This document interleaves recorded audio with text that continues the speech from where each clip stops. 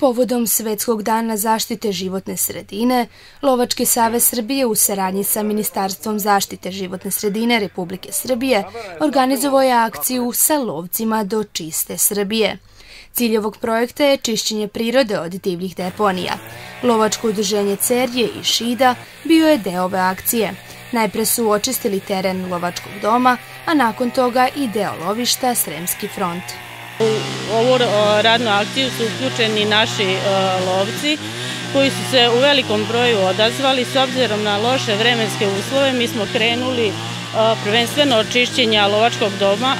Obzirom da je kiša prestala, izašli smo na teren i ovaj, nastavit ćemo akciju u lovištu, znači sa uklanjanjem tih divljih deponija. U ovoj akciji nas je podržalo naše lokalno komunalno preduzeće standardkom sa ovom prilikom zahvaljujem. Šta ova akcija znači uopšte za vas i za celu Srbiju? Pa akcija se svodi na čišćenje divljih deponija, znači uklanjanja smeća i ako ovog momenta ne krenemo sa uklanjanjem smeća, nećemo imati gde da živimo. Ovoj akciji odazvao se veliki broj lovaca ovog udruženja, među kojima je bio i najstariji lovac koji je dao pravi primjer mladim naraštajima koliko nam je priroda bitna i na koji način da je sačuvamo.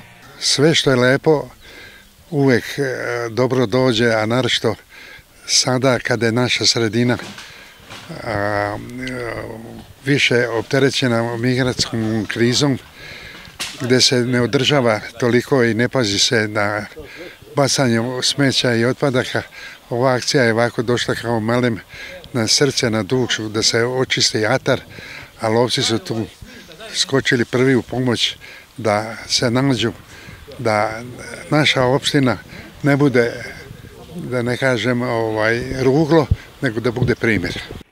Oko 80.000 lovaca odazvalo se ovoj akciji koja se održala na nivou cele teritorije Srbije. Ovo je jedan od načina kako možemo da sačuvamo našu državu u obliku kakvom nam je priroda dala.